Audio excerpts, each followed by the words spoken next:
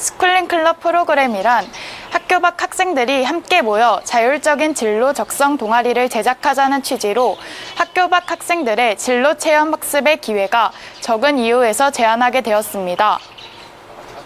최소 4명 이상의 학생들이 모여 동아리 활동을 진행하고 성북구 축제 때 부원들과 함께 부스를 운영해 성과를 내는 방식으로 프로그램을 구성하였으며 schooling 클럽 프로그램이 선정되어 실행되면 학교 밖 학생들의 또래와의 건전한 대인 관계를 형성할 수 있고 학생들이 자율적으로 동아리를 구성함으로써 스스로의 역량과 진로에 대한 구체성을 키울 수 있는 효과가 있을 것으로 기대됩니다. schooling 클럽 많이 참여해 주세요. 다음 의제가 계속됩니다. 사업 명칭은 아동 청소년 사업으로 성북이대 자부심과 책을 담아 AI 시대에 나누며 성장하는 성북임을 말씀드립니다. 지역사회 및 학교들과 연계, 아동 청소년들에게 지식을 얻으며 자신이 소장한 책을 판매와 구매로 경제력을 배우고 유대인의 교육처럼 남보다 잘하기가 아닌 남과 다르게 책을 통해 인성과 덕목, 소통과 화합, 나눔과 배려로 AI 시대에 성장하는 아동 청소년의 계기가 될 수 있는 성북 아동 청소년 참여 예산을 제안하게 되었습니다. AI 시대 나누며 성장하는 성북 꾹꾹 다음 의제가 계속됩니다. 성북구에 있는 중고등학교에서 공연 동아리에 소속된 학생들이 자신들의 공연 영상과 지역사회를 향한 응원 영상을 담아서 성북구청에 지원을 하게 됩니다. 선정된 동아리들은 추후 SNS에 자신들의 활동 영상을 업로드하게 됩니다. 이 프로젝트를 통해서 성북구뿐만 아니라 전국적으로 중고등학생들이 코로나 상황에서 자신들의 꿈과 키를 펼칠 수 있는 기회를 얻을 수 있다고 생각하며 전반적으로 코로나로 인해 침체된 지역사회 분위기를 고조시키는데도 큰 도움을 줄 것이라고 생각합니다. 그럼 우리 모두 코로나가 종식되는 그날까지 화이팅! 다음 의제가 계속됩니다. 제가 제안한 사업은 비대면 청소년 센터 앱입니다.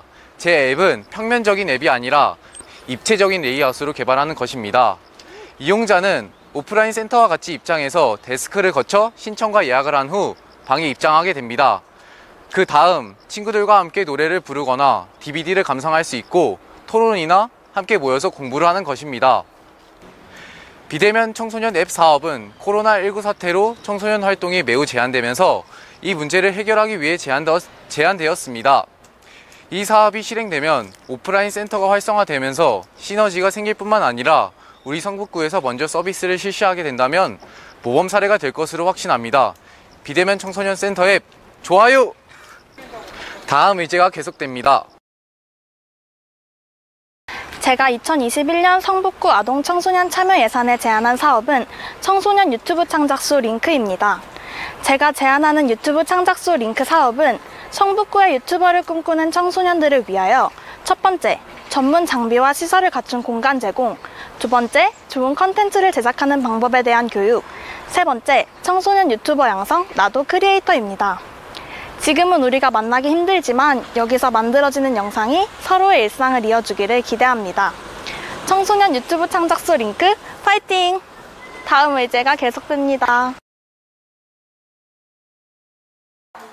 여러분은 주위의 청소년 활동 프로그램이나 청소년 센터를 얼마나 알고 계십니까? 아마 특별히 관심이 있으신 분이 아니라면 잘 모르실 텐데요. 그래서 이번 성북구 아동청소년 참여 예산에 제안한 사업은 성북구 청소년 알림이 사업입니다. 이 사업은 성북구 청소년 활동이나 시설을 온라인, 오프라인으로 홍보하는 내용으로 제안하게 되었습니다. 더 많은 성북구 청소년들이 자신에게 필요한 정보를 얻어 센터나 활동을 체험하고 시설을 이용하는 등의 효과가 있을 것이라고 생각합니다. 청소년 알림이 사업 화이팅!